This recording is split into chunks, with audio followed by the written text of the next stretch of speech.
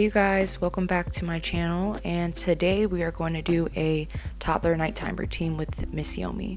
Not all nights are the same, but this is a pretty typical night. She's just cleaning up her toys and there's the wink.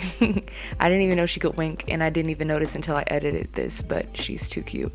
So I am having her clean up and I'm making dinner.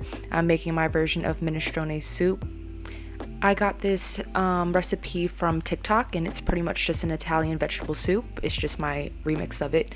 But you guys already saw me mince about five or six cloves of garlic and then I diced a medium-sized yellow onion. I washed two zucchinis and I'm cutting them into half moons. I did use both zucchinis because I left out a lot of the ingredients from the original recipe so to make up for it I just added an extra zucchini. Then to a large pot, I added some extra virgin olive oil. Um, you can add about two or three tablespoons in there before you add your vegetables. And then you're going to throw in your garlic and onions and then all of the veggies that you chop up. So here I'm chopping up some tomatoes. Um, it calls for Roma tomato in the recipe I originally used but I just used whatever tomato I had in the house. So I'm just gonna pretty much dice them up nothing special. They don't have to be perfect. It's embarrassing, but my knife was super dull, so I was struggling a little bit. But toss that into the pot, and you don't have to have, you know, the onions and garlic sauteing beforehand. You can just do it once all the veggies are in. But yeah, you guys saw me put about half a stalk of celery in there also. And then I'm turning on the stove to about a medium high heat. Um, and then stirring it up and letting the veggies kind of shrink a little bit. Head and add your choice of either chicken broth or vegetable broth. I used about one and a half cartons of chicken broth. After that, you can add your choice of either plain spaghetti sauce or tomato sauce, whatever you want to call it. I added about half of a small jar in there. Um, I just add enough to where my soup kind of changed colors and it's kind of like this orangey red color. Then I seasoned it with a good amount of oregano, a little bit of garlic powder, which is optional because you already have garlic in there, but it's just kind of a habit for me to always add garlic powder and onion powder.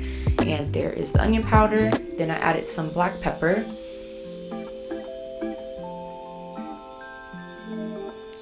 then a little bit of dried parsley just for a little bit of extra color.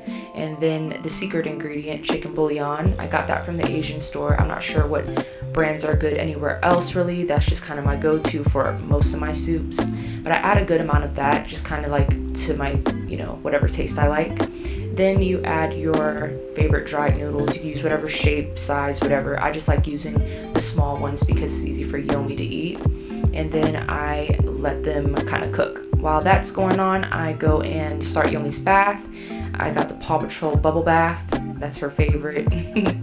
and I'm just putting some in there, and there she is in the bathtub with her rubber duckies. Um, she just had a sleepover with her best friend Ace and Amani, and they had a bubble gun and I thought that was such a cute idea so I went and got one from the toy store and then you see me adding or turning on Cocomelon because she can't have a bath without jamming out to Cocomelon and then those are my little cousins back from home we just said hi and happy birthday to my little cousin JJ and that is a new little gadget we got from Amazon. Yomi freaks out when she gets her hair washed. So I've been doing a little bit of research to figure out what makes washing her hair easier and I found this um, pretty much like a hair washing shampoo shield made out of silicone and I just got it literally that day.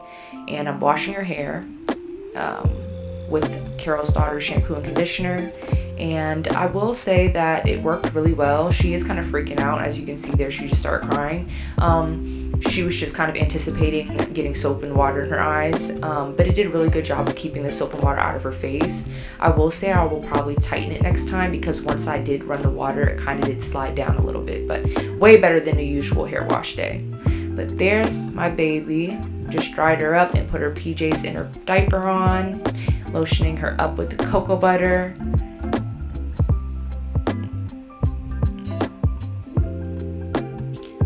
On her face and then I am detangling her hair some more. I usually would do it all in the shower, but since she was kind of freaking out, I just finished it up out of the bath. Then I'm putting this curl smoothie on her hair um, just to kind of keep it hydrated. She's shaking it for you guys, to let you know she's got the curls.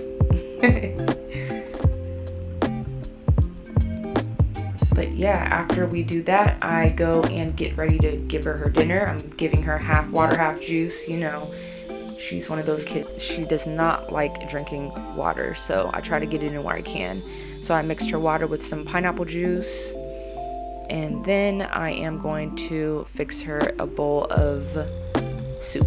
I will actually leave the TikTok that I found the recipe from down in the description if you guys are interested. You guys can you know, do your own thing with it, add whatever vegetables you want, do whatever you want. This is just kind of what we had and what I wanted to make tonight. Yomi can kind of eat a lot, so don't be alarmed by how many scoops you just saw me give her. She's a skinny girl, but she can eat. So yeah, there's my baby's dinner. Just started teaching her how to pray, so she's praying before she eats. Good and then job. she's gonna go ahead and just enjoy her dinner while she's watching Ratatouille. So yeah, that's pretty much it. She's gonna get in bed, a few hugs and kisses. She likes to drag this part out a little bit because she doesn't want to go to sleep. But that's pretty much it. I hope you guys enjoyed the video. And if you want more videos like this, just let me know or just leave a comment of what you guys want to see from me in future videos. Thanks for watching.